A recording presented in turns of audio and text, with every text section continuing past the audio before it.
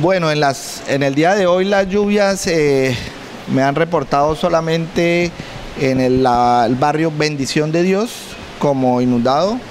Eh, obviamente eh, para nosotros no es raro que ese barrio se inunde porque está fundado en un sitio que era de, de llanura e inundación.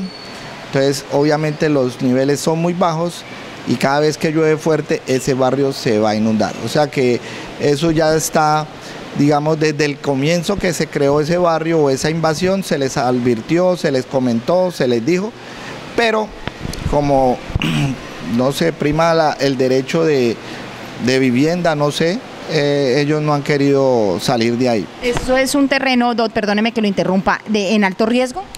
Es un terreno de alto riesgo por inundación, porque son muy bajos, o sea, los niveles son muy bajos y obviamente eh, cuando llueve de los barrios alrededor, que están más altos, las aguas van a ir hacia esa zona. Entonces, eh, eso ya es sabido desde siempre.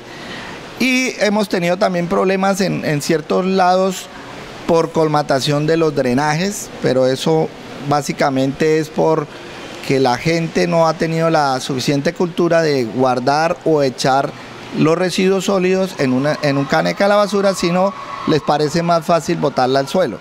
Entonces, obviamente cada vez que llueve, toda esta basura, todos estos residuos sólidos van a parar a los drenajes, se van colmatando y ya cuando llega el periodo de lluvias ya no pueden evacuar las aguas que, pueden, que deben evacuar. Entonces, ese es un problema también de pronto cultural.